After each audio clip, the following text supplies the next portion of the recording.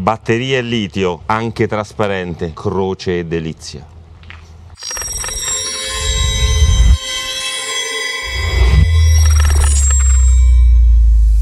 Buongiorno a tutti e benvenuti nel canale ProCamper. Oggi abbiamo questo bel bambino da analizzare e parleremo quindi di litio.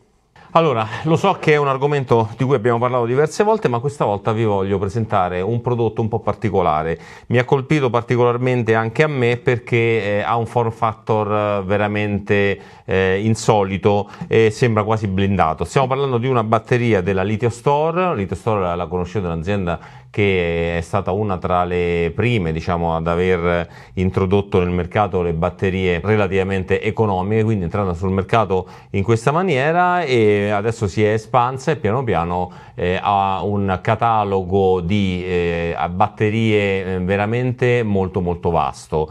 Eh, questa batteria in particolare mi ha colpito per diverse caratteristiche che mi hanno convinto a fare un video eh, cercando di elencarvele, la guarderemo anche dentro per farvi capire di che cosa si tratta. Prima di fare ciò però iscrivetevi al canale, come al solito mettete un like se i video che vi piacciono ed attivate la campanella per ricevere notifiche dei video che caricheremo. Perché la scelta di questa eh, batteria? Fondamentalmente per una, una, ragione di dimensione e di capacità ovviamente. Stiamo parlando di una batteria di 400 Ah che è molto molto compatta per la quantità di energia che riesce a fornire. 400 Ah si trovano all'interno di una scatola, chiamiamola così, di 46 di larghezza per 32 per 27 di altezza. Stiamo parlando di eh, centimetri. Quindi molto compatta anche perché il, il peso, che chiaramente non è trascurabile, però stiamo parlando di 42 kg. Se voi considerate che una batteria al piombo da 100 eh, AGM eh, ha un peso di circa 30-35 kg, siamo, mm, eh,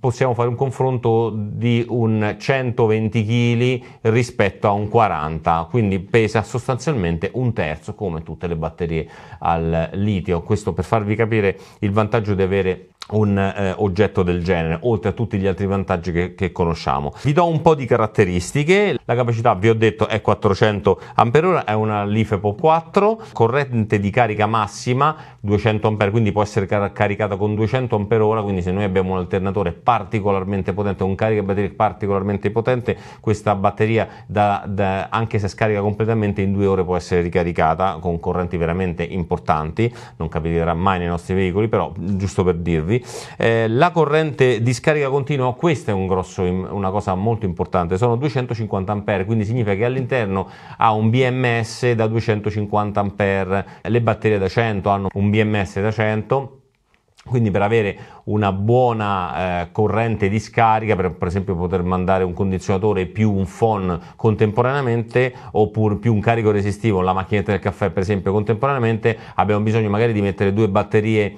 eh, in eh, parallelo da, da, 100 per avere un 200 Ah di eh, batteria con, eh, utilizzando i due BMS, uno da 100 e l'altro da 100. Ma questo qua, questa batteria invece lo ha integrato all'interno in un unico contenitore, 250. In più ha una corrente impulsiva da 350 A, quindi molto interessante.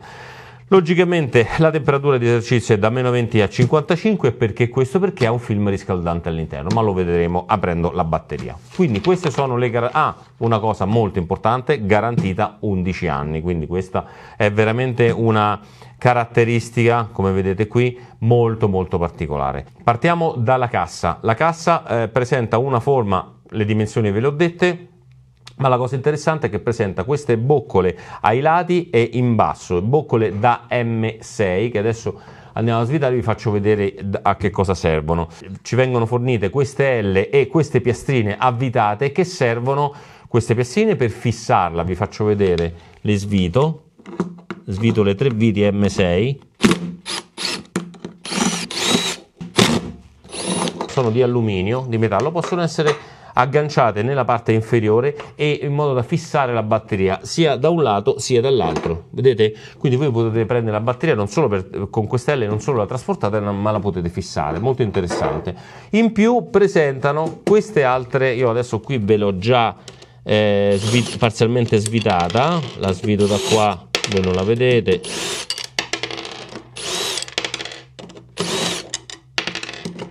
Eccola presenta quest'altro piastrino in metallo, vedete?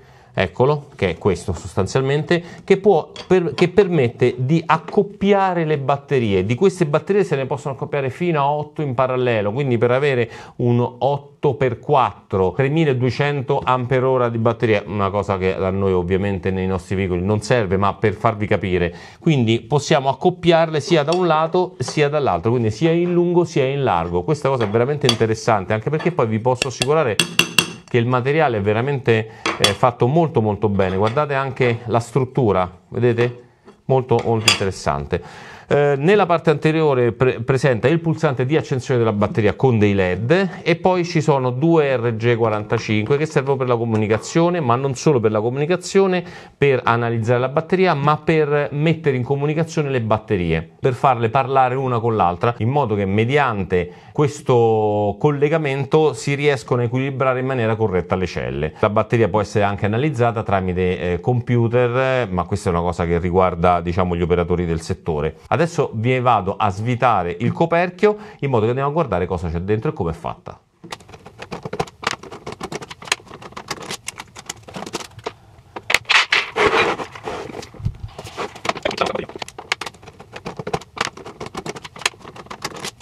Questa è la mm, batteria eh, nella sua forma interna. Le celle che si trovano qui sotto, eccole queste di color blu, si vedono, si vedono da qua, una struttura di metallo che le cinge e le mantiene in posizione e poi chiaramente sono fissate all'interno di questa cassa di plastica molto robusta. Nella parte posteriore eh, abbiamo il film riscaldante, quindi quando la temperatura scende sotto un certo valore per evitare danneggiamenti in fase di carica eh, si riscalda, si, cioè l'energia viene prelevata dalle celle e automaticamente riscalda eh, le celle per evitare appunto questa problematica di eh, danneggiamento delle celle stesse. Il BMS è il, il, circuito di controllo delle celle, dell'equilibrio delle tensioni tra le celle, sia di eventuali anomalie che potrebbero crearsi all'interno del, nelle fasi di carica e discarica all'interno delle celle. Molto molto importante perché è praticamente un controllore di sicurezza, è proprio lui che gestisce lo stato di salute della batteria. In più abbiamo que- tutta questa parte delle piastre che è saldata e di collegamenti, vedete queste sono praticamente bus bar, tutto saldato al laser e integrato all'interno. Quindi dimenticavo di dirvi, all'interno ci sono anche due piccole ventole che servono per il raffreddamento nell'eventualità eh, di eh, sovratemperature. Come descrizione ci siamo, noi adesso l'andiamo ad installare in un van, quindi 400 Ah in un van, e in un posto veramente dove c'entra assolutamente in maniera precisissima, almeno speriamo, sotto la dinette di un Malibu. Andiamo di là e lo andiamo a montare insieme.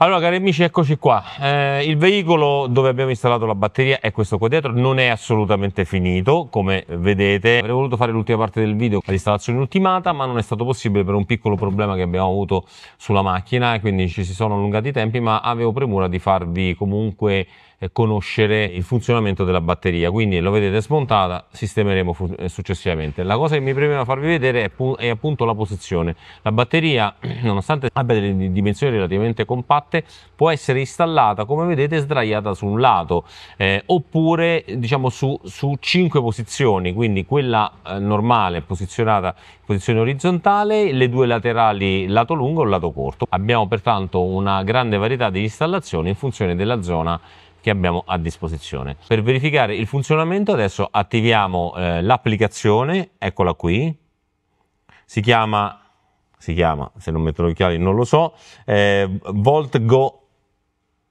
Volt Go Bluetooth la lanciamo, scegliamo la batteria, lui prende lo, logicamente ehm, la serie di dispositivi che trova intorno ed è questo qui, questo da 400 ZT 12 volt, 12,8 volt 400 ampere. Mm, ok, allora la schermata è molto molto semplice, abbiamo lo stato della batteria 98%, 3, ampere di assorbimento istantaneo, la temperatura delle celle, considerate, vi ricordo che questa è una batteria preriscaldata che si può preriscaldare, non preriscaldare, che si può riscaldare con il film riscaldante, la tensione del, della cella e eh, avete i dettagli che sono ehm, le, la tensione delle celle superiori, lo vedete le quattro celle a 3,315 e poi i vari dettagli, questi mh, sono dettagli che fondamentalmente a noi non interessano.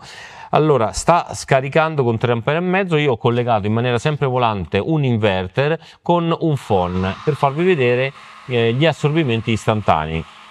Come vedete da 3 ampere e mezzo siamo arrivati a 51,7 ampere. Considerate che questo è il mio phon piccolo piccolo alla prima velocità. Lavoriamo alla seconda velocità e abbiamo ben 104 quasi 105 ampere di scarica. Chiaramente questa scarica logicamente andrà a svuotare progressivamente la batteria ok? Quindi da questa applicazione noi praticamente abbiamo uno shunt non evoluto come quello del mm, Victron perché lui analizza anche la capacità residua questo non la analizza però comunque sia se vogliamo sapere lo stato di carica della batteria possiamo tranquillamente avvalerci di questo strumento molto molto semplice ok?